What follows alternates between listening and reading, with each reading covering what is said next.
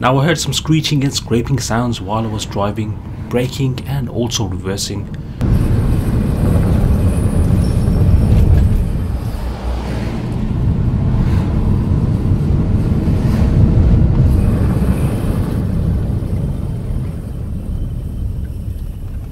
Coming to figure it out, the sound was coming from the driver's side front wheel.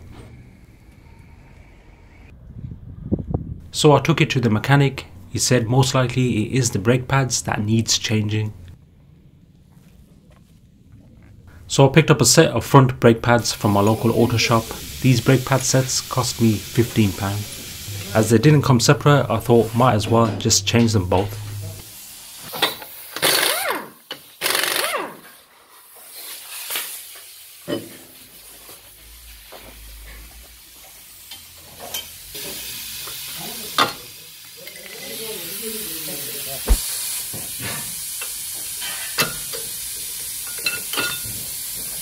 It's totally finished.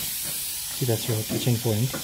Look at that, it's even touching here. See, So what's it's slightly thick on that side altogether. Oh, that's finished, isn't it? yeah, finished. Oh, that one's thicker and that one's gone Yeah, back. that's how it is. Tilted. So it's touching on that, isn't it? That's why it's making Yeah, squeaking yeah, noise. yeah. See, that's the touching point. When it touches here, it screeches. Oh, once it touches that, it's it, once it touches here, it screeches. Okay. It's gone. That that bit is finished. It's even touching here. Sorry, what's the brake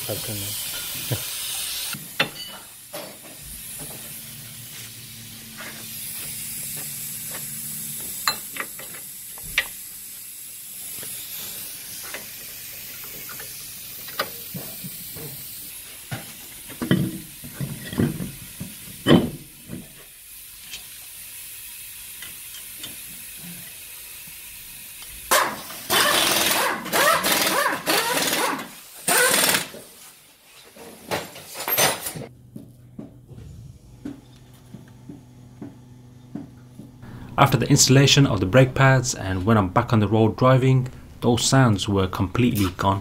So guys, if this problem does occur on your car, get your brake pads checked out. Take care guys, catch you in the next one. Peace.